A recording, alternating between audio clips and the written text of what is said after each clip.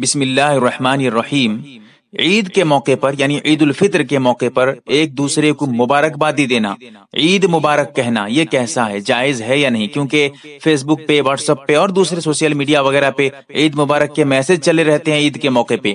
اس کی شرعی حیثیت کیا ہے؟ میں انشاءاللہ مختصر الفاظ میں مسئلے کی مکمل وضاحت کروں گا۔ جیسا کہ السنن القبرا میں حدیث نمبر 6519 کھولیے گا۔ اسی طرح کی کچھ باتیں، جیسا کہ دیگر کتابوں میں الموجم الکبیر میں حدیث نمبر ایک سو تیئیس پہ اور ادوال تبرانی میں حدیث نمبر آٹھ سو چون پہ یہی باتیں ملیں گی۔ اس کے علاوہ کچھ مسائل جو ہیں آپ کو فتح رحیمیہ میں جلد نمبر چھ صفحہ نمبر ایک سو بہتر پہ اور احسن الفتاوا میں بھی کچھ باتیں ملیں گی، جس کا خلاصہ میں آپ کے سامنے رکھ رہا ہوں۔ خلاصہ یہ ہے کہ عید مبارک یہ الفاظ استعمال کرنا جائز تو ہے، لیکن اس کا کوئی ثبوت نہیں ہے۔ کہ عید مبارک کہا جاتا ہو کہ عید کے دن عید مبارک ہو، آپ کو عید مبارک ہو۔ یہ الفاظ جو ہیں، عید مبارک کے جو الفاظ ہیں، اس کا کوئی ثبوت نہیں ہے حدیث سے۔ کہیں کوئی تذکرہ نہیں ہے۔ اسی لیے اگر کوئی اس الفاظ کو استعمال کر کے اور انہی الفاظ کو سنت اور ثواب سمجھے تو جائز نہیں ہے۔ لیکن اگر مبارکبادی دے رہا ہے یاد رکھیں، میں ایک اصولی گفتگو کرنا چاہتا ہوں آپ سے۔ حدیث میں مبارکبادی دینا یہ ثابت ہے۔ عید کے موقع پر صحابہ اکرام آپس میں ایک دوسرے کو مبارکبادی دیا کرتے تھے۔ اللہ کے رسول علیہ السلاۃ والسلام سے بھی ثابت ہے۔ تقبل اللہ منا و من کا یہ دعا ہے۔ یہ دعا دیا کرتے تھے اور یہ مبارکبادی کے طور پہ، مبارکبادی کے طور پہ اس کو پیش کیا کرتے تھے۔ اور یہ ایک دعا ہے۔ یعنی اللہ سے یہ کہا جاتا ہے، اللہ تعالی ہمارے اور آپ کے اعمال کو قبول کرے۔ تقبل اللہ منا و من کا اللہ تعالی ہمارے اور آپ کے اعمال کو قبول کر لے، یہ ایک دعا ہے۔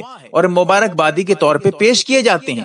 اگر کوئی انہی الفاظ کو استعمال کر رہا ہے عید کے موقع پر، عید کے موقع پر اسی لفظ کے ساتھ، انہی الفاظ کے ساتھ تقبل اللہ منا و من کا اسی الفا انہی جملوں کے ساتھ اگر وہ مبارکبادی پیش کر رہا ہے تو کوئی حرج نہیں ہے۔ کوئی قباحت نہیں ہے، بلکہ مستحب ہے۔ اللہ کے رسول علیہ السلاۃ والسلام سے ثابت ہے، صحابہ اکرام سے ثابت ہے۔ اسی لیے ان الفاظ سے اگر کوئی استعمال کر رہا ہے تو بلا کراہت جائز ہے۔ لیکن جو دوسرے الفاظ استعمال کرنا، عید مبارک کہنا یا کوئی اور دوسرا، اس کے علاوہ یعنی تقبل اللہ منا و منکا کے علاوہ، اگر کوئی دوسرا جملہ استعمال کرتا ہے، تو اس کا خیال رکھے کہ مبارکبادی کے طور پر دوسرا جملہ استعمال کر سکتا ہے، جائز ہے، لیکن ان جملوں کا کوئی ثبوت نہیں ہے۔ اسی لیے ہمیں چاہیے کہ ہم اگر اگر مبارکبادی دیں، انہی جملوں سے دیں جن جملوں سے اللہ کے رسول سے، اللہ کے رسول کے صحابہ سے جو ثابت ہے،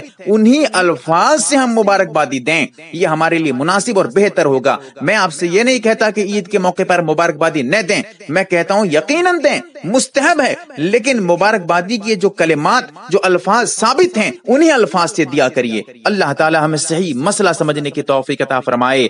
آمین۔ یا رب العالمین۔ یم اے آر بی دینی معلومات چینل کو سبسکرائب کریں اور گھنٹی والے نشان کو ضرور دبائیں تاکہ ہم جب بھی نئی ویڈیو ڈالیں، وہ آپ تک پہنچ جائے۔ ویڈیو کو لائک اور شیئر ضرور کریں۔ واٹس ایپ گروپ میں شامل ہونے کے لیے آپ اپنے واٹس ایپ نمبر سے ایڈ لکھ کر میرے WhatsApp number eight nine zero eight nine three nine three four three کو میسج کریں۔